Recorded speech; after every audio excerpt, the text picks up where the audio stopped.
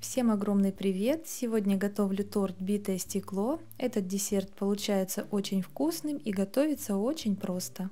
Мне понадобится 3 пачки желе, у меня это апельсиновое, ягодное и клубничное. Согласно инструкции в каждую тарелочку наливаю 200 грамм кипятка, все хорошо перемешиваю и после остывания убираю желе в холодильник. Также мне понадобится сметана. У меня сметана 25% жирности. Сметану добавляю ванилин по вкусу и 4 столовые ложки сахара. Все хорошо перемешаю и оставлю сметану с сахаром в сторону, чтобы сахар растворился. Для сметаны мне понадобится 10 грамм желатина. Я использую желатин быстро растворимый.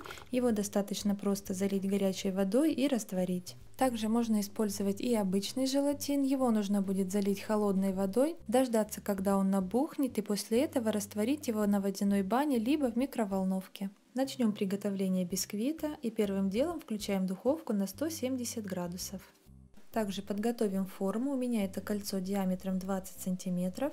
Я внутри немного смазала растительным маслом и приклеила пергамент. Для бисквита я беру 2 яйца, к ним добавляю 4 столовые ложки сахара, все хорошо взбиваю в пышную пену. После того, как получила вот такую вот пену, добавляю 4 столовые ложки муки и пол чайной ложки разрыхлителя. Муку обязательно нужно просеять и очень быстро делать тесто.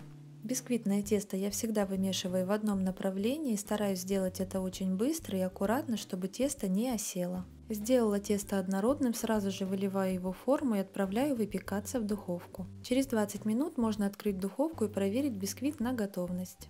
Бисквит очень быстро остывает и после этого я пропитываю его кипяченым молоком. В молоко можете добавить немного сахара. Желе к этому времени уже хорошо застыло, нарезаю его на кубики и соединяю все в одной посуде.